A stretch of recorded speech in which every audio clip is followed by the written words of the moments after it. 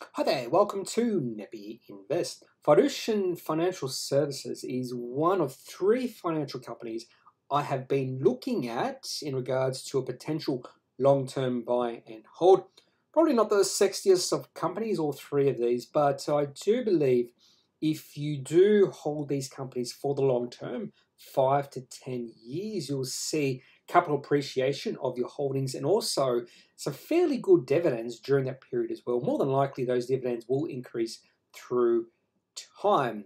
And the whole point of investing is to compound your wealth or the value of your holdings in a company. And I think these three companies do have that capability to do exactly that.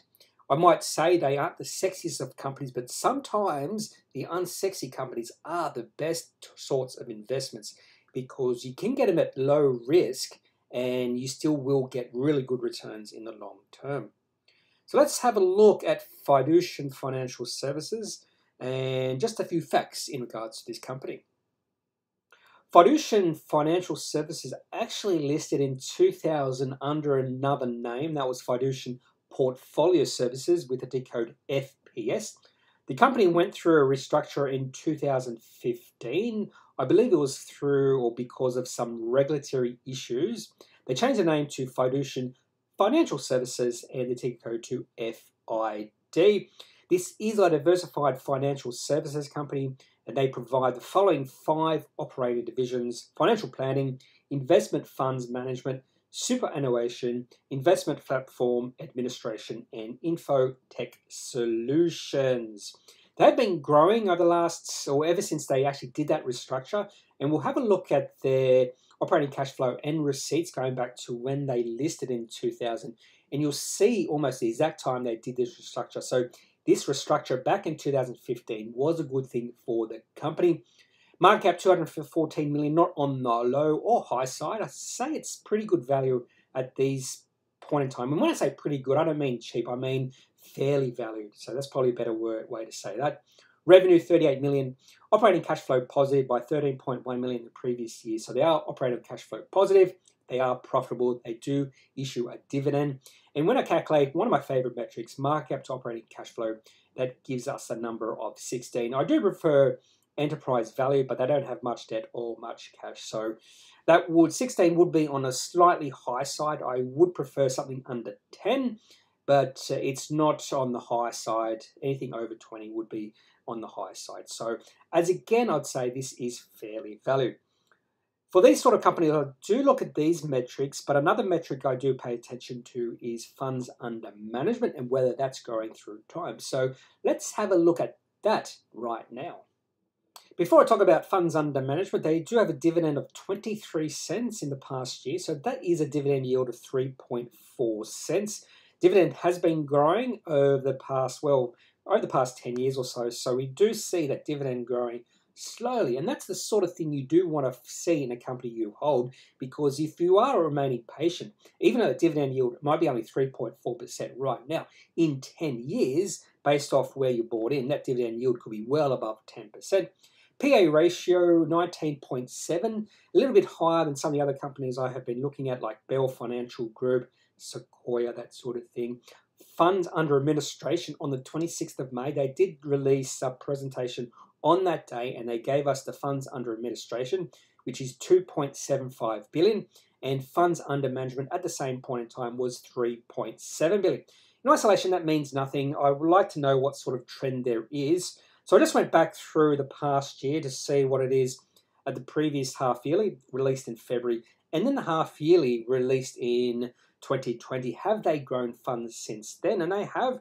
Funds under administration have grown from 2.3 billion in the half year of 2022 to 2.75 billion, and funds under management have grown from 2.97 billion to 3.7 billion. So they are growing those two important metrics. And just for comparison um, points here, I just wanted to see how that compares to, say, Magellan, Pendal, and Platinum Asset Management. For example, Magellan has funds under management of 110 billion, also has a market cap of 9.5 billion.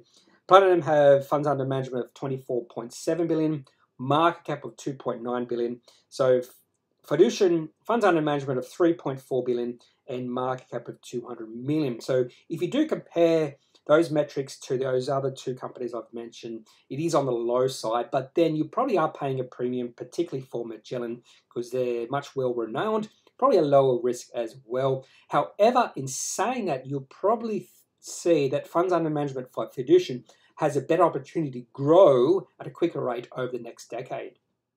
Something interesting about Fiducian, they do release an Appendix 4C every six months, not every three months like other companies do. I'm not sure why they do this. So every quarter, when they're not releasing a half yearly or yearly, they are releasing an Appendix 4C. This was released in April of uh, 2021. So we do have an idea how they are performing through the quarter. Our receipts and customers at 16 million, so that's pretty good. And again, they are operating cash flow, and for the quarter, that was 3.7 million. You'll notice they did lose cash in the quarter, so cash on hand fell from 16.7 to 15.4 million.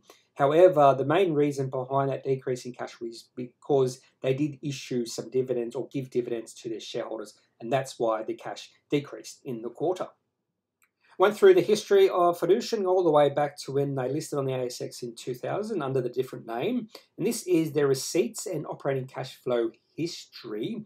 So receipts is those purple bars, and operating cash flow is the line, the green line there. So you can see operating cash flow is quite lumpy up and down quite a bit. But operating cash flow or receipts, um, you can see prior to 2015, I'll just put in there, that's when they restructured. So prior to their restructuring, receipts was flat uh, and you could say operating cash flow was flat, even though it was in a sort of like a wave pattern. So it does seem like that restructure they underwent in 2015 was positive for the company because ever since then, we've seen the receipts and operating cash flow really take off. We've also seen the share price take off as well. So let's have a look at the charts. Now, we'll look at the weekly chart and the daily chart. Unfortunately, we only have data since they restructured because they changed their name. So I don't have any of the charts back from when they were Fiducian Portfolio Services. First chart we want to look at is the weekly chart for Fiducian going back to when they restructured and relisted back on the ASX in early 2015. Share price at that point was $1.80. We saw the share price really take off in the beginning of 2016 and for two years was in a nice little bull run going from about $2 to a high of just under $6. During 2018, if you remember back then, uh, particularly towards the end of that year, we did see a bit of a correction in the markets as there was a threat of rising interest rates in the United States. Uh, if you remember, Trump was getting angry with the Fed because of that. And the share price of Fiducian did uh, suffer because of that. In fact, it fell from $5.60 to a share price of $3.60, which is a good level of support for the company's share price because we saw that level reached again during the COVID 19 financial panic. However, the share price has taken off from there and is right now at around $6.80 and at all time highs. If we look at the daily chart, which goes back to just prior to the COVID 19 financial panic, you can definitely see a bit of an uptrend in that chart. So now let's have a look at the daily chart. With the daily chart for Fiducian going back to pre-COVID 19 levels, share price got to around about $6.20 right before then. And then just like every other company on the ASX, and probably every other company in the world, uh, the share price fell off a cliff over a month period. In fact, the share price for Fiducian went from $6.20 to about $3.60. If you bought in on the lows around March 23rd, 24th, you would have been a very happy camper indeed because the share share price of Fiducian uh, rallied quite hard off that. We do have an uptrend here, a well-defined uptrend with three points, so a nice uptrend. And you can see back in March of this year, well, you can't see because I've got the dates hidden, but back in March of this year, the share price did hit the uptrend and bounced nicely off it. That's exactly what you want to see. If we again see the share price hit that uh, uptrend and then bounce off it, that would be another sign that this in, in uptrend is a fairly strong uptrend over the past month, we have seen the share price move sideways or consolidate. I like that. I do like periods of consolidation because the share price of a company can or is allowed to breathe. And if we do see the share price move above $7, that would be a bullish move. I think the chances are quite high. Eventually, we'll, we'll see the share price move above that $7 level because there is pretty good chances if the company can maintain their growth they have seen in the past five years or since they've restructured, uh, if they can continue that growth story, more than likely the share price of this company will continue to go higher. Now, on to the important question is Fiducian Financial Services a buy, hold, or sell? Before I talk about that, just want to say anything I say here in regards to Fiducian Financial Services is not a recommendation to you blindly do exactly what I talk about here.